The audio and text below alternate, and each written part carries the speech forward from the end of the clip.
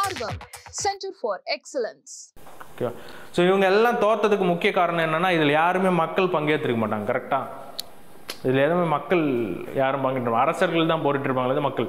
So நம்ம Gandhi period அதுக்கப்புறம்லாம் பார்த்தீங்கன்னா mass மூமெண்ட்டாக மாறும். அந்த மாஸ் மூமெண்ட் அதுக்கப்புறம் தான் நமக்கு விடுதலை கிடைக்கும். ஓகே அதான் டிஃப்ரென்ஸ் ரெண்டும். ஓகே ஸோ அந்த கம்பாரிசன் பேஸ்டு கொஸ்டின்லாம் மெயின்ஸில் இப்போ கேட்க ஆரம்பிச்சிட்டாங்க. ஸோ ஃபஸ்ட்டு ஃபஸ்ட்டு தேசிய உணர்வு பிரதிபலித்தது எங்கே அப்படின்னு பார்த்தீங்கன்னா அந்த பெனின்சுலர் கான்ஃபெடரசியில் தான்.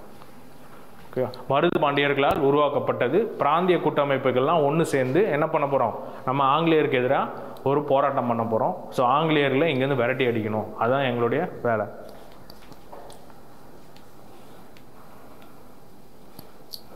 ஸோ அப்போது நெக்ஸ்ட் பிளானாக என்ன சொல்கிறாருன்னா மருது பாண்டியன் என்ன சொல்கிறாருன்னா ஸோ பிராந்திய கூட்டமைப்பு இருக்குது இதை வந்து நல்லா எக்ஸ்பேண்ட் பண்ணணும் அப்படின்னு சொல்கிறார் எக்ஸ்பேண்ட் பண்ணோன்னா நல்லா வெளியே போயிட்டு வேறு யாரெல்லாம் ஆங்கிலேயர்கள் எதிரி இருக்காங்களோ எல்லாம் ஒன்று சேர்க்கணும் அப்படின்னு சொல்றாரு. பிராந்தியங்கள்லாம் அந்த பெனின்சுலார் அப்படின்றது என்ன சொல்லுவாங்க?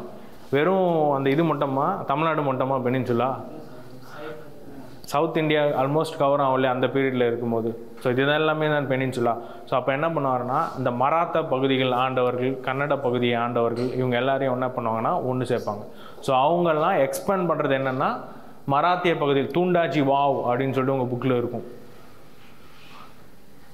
அவங்களையும் இந்த கூட்டமைப்பில் ஒன்றா சேர்ப்பாங்க. எந்த கூட்டமைப்புனா இப்போ இது இந்த தான் கூட்டமைப்பு. அதெல்லாம் முடிஞ்சு போச்சு. இது எல்லாம் ஒன்றா சேர்ந்து இந்த இடத்துல பண்ணுவாங்க. ஸோ இவங்க எல்லாம் என்ன பண்ணுவாங்கன்னா விருப்பாட்சி திட்டம் அப்படின்னு ஒரு திட்டம். விருப்பாட்சி பிளான் இங்கிலீஷில் ஏன்னா அந்த பிளேஸோட பேர் விருப்பாட்சி. விருப்பாட்சியில் மீட் பண்ணுவாங்க. ஸோ அந்த இடத்துல தான் வந்து பார்த்திங்கன்னா இந்த பிளான் போடுவாங்க. ஸோ இந்த விருப்பாட்சி பிளான் இப்போ வந்து நீங்கள் ஏதோ ஒரு இந்த சார்க் மாநாடு அப்புறமா வந்து இந்த எஸ்சிஓ அந்த ஷாங்காய் கோஆப்ரேஷன் இதில் அப்புறம் ஜி டுவெண்ட்டி இதெல்லாம் பண்ணி நடக்குதுன்னு வச்சுக்கோங்களேன். அப்போ அங்கே அதோட தலைவரை யார் செயல்படுவோம் இப்போ ஜி டுவெண்ட்டி இங்கே நடந்தது ஜி செவன் நடந்தது அப்படின்னா அந்த கண்ட்ரியோட பிரைம் மினிஸ்டர் வந்து தலைவராக செயல்படுறார் ஸோ இப்போ இங்கே விருப்பாட்சின்னா அது யாருடைய தலைவர்? அந்த இடத்துல யார் தலைவர்? கோபால் நாயக் ஸோ அவரோட தலைமையில் தான் அந்த கூட்டம் நடக்குது. யார் தலைமையில் நடக்குது? கோபால் நாயக் உங்களுக்கு அதெல்லாம் எழுதி போட்டேன். அந்த என்னது? இந்த பிராந்தியங்கள் கூட்டமைப்பில் கோபால் நாயக் எதோட எட்டு திண்டுக்கல் லீக். விருப்பாட்சி எங்கே இருக்குது அந்த திண்டுக்கல் லீக் கீழே தான் வருது. ஸோ இந்த விருப்பாட்சி பிளான் அந்த இடத்துல தானே கூட்டம் கூடுறாங்க. ஸோ அந்த கூட்டம் கூடுறதுனால விருப்பாட்சி பிளான் ஸோ அது யார் தலைவராக செயல்படுறா?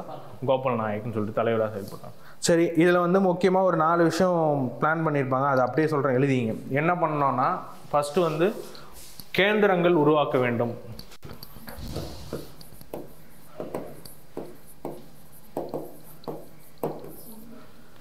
இப்போ இதான் பிரிட்டிஷோட இடம் அப்படின்னா கேந்திரங்கள்.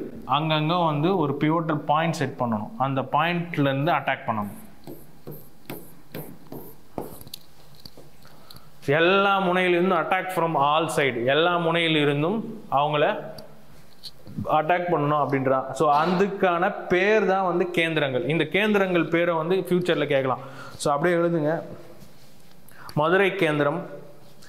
அது வந்து ஒவ்வொருத்தர் தலைவரை அப்பாயிண்ட் பண்ணுவாங்க. இவர் கீழே அந்த கேந்திரம் இருக்கும். அங்கே கீழே வந்து படை வீரர்கள் இருப்பாங்க. அவங்க வந்து இந்த வேலையை செய்யணும். ஸோ மதுரை கேந்திரம் அந்த கேந்திரத்துக்கு யாரை ஹெட் போடுறாங்கன்னா மதுரை யார்? மருது பாண்டியர்களில் போடுறாங்க. ஸோ திண்டுக்கல். திண்டுக்கலுக்கு யார் போட்டிருப்பா? Gopal Nayakkar. Next Coimbatore. Coimbatore Khan Jahan Malabar Keralavarma Mysore Krishnappa. Last Kannada north Kannada வடக்கு Kannada. Dhondaji wow.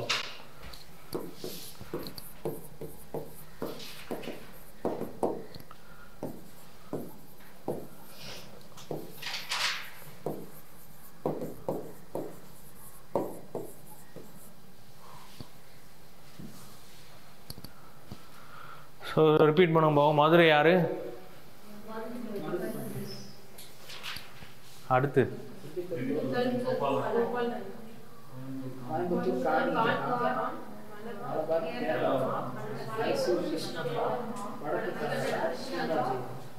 Krishnappa Nayak அவர் பேர்.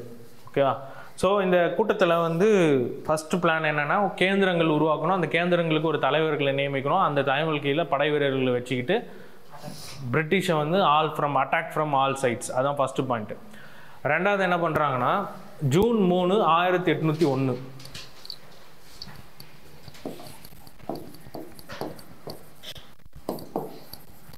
இதுதான் வந்து அவங்க டேட் ஃபிக்ஸ் பண்ணுறாங்க அது எப்போ அட்டாக் பண்ணணும்? ஜூன் மூணு ஆயிரத்தி எட்நூற்றி ஒன்று அப்போ தான் அட்டாக் பண்ண போகிறோம்னு ஒரு பிளான் எல்லாமே டேட் ஃபிக்ஸ் பண்ணுறாங்க கேந்திரங்களை உருவாக்குறாங்க. ஸோ எப்போ அட்டாக் பண்ணணும்? ஸோ எப்படி அட்டாக் பண்ணோம் கொரில்லா வார்ஃபேர் கொரில்லா போர் முறை மறைந்திருந்து தாக்குதல்னு சொல்லுவாங்க. என்ன பண்ணுவாங்கன்னா அந்த இடம் இருக்கிறதுக்கு முன்னாடி ஏதாவது காடு இருக்கான்னு பார்ப்பாங்க. அந்த காட்டில் ஒளிஞ்சிப்பாங்க. ஸோ அங்கேருந்து என்ன பண்ணுவாங்கன்னா பிளான் பண்ணி அட்டாக் பண்ணுவாங்க. மறைஞ்சு பண்ணுவாங்க. ஓகேவா ஸோ அது இந்த கொரில்லா வார்ஃபேரை வந்து பண்ணணும் அப்படின்னு சொல்லி ஒரு பிளான் பண்ணுவாங்க. ஸோ என்னென்ன பிளான் இவங்க பிளான் பண்ணுறாங்க ஸோ விருப்பாட்சி திட்டம்னா என்னது? ஜூன் மூணு ஆயிரத்தி எட்நூற்றி ஒன்றில் கேந்திரங்கள் மூலமாக பிரிட்டிஷ்காரர்களை அட்டாக் பண்ணணும். அன்றைக்கி தான் அட்டாக் பண்ண போகிறோம் இது எதன் மூலமாக அட்டாக் பண்ண போகிறோம் கொரில்லா வார்ஃபேர் மூலமாக அட்டாக் பண்ண போகிறோம் ஸோ அதுக்கு கேந்திரங்கள் உருவாக்கப்பட்டிருக்கு. அந்த கேந்திரங்களுக்கு தரைவு இருக்குது ஸோ தான் இதை தான் வந்து விருப்பாட்சி திட்டம்னு சொல்லுவாங்க.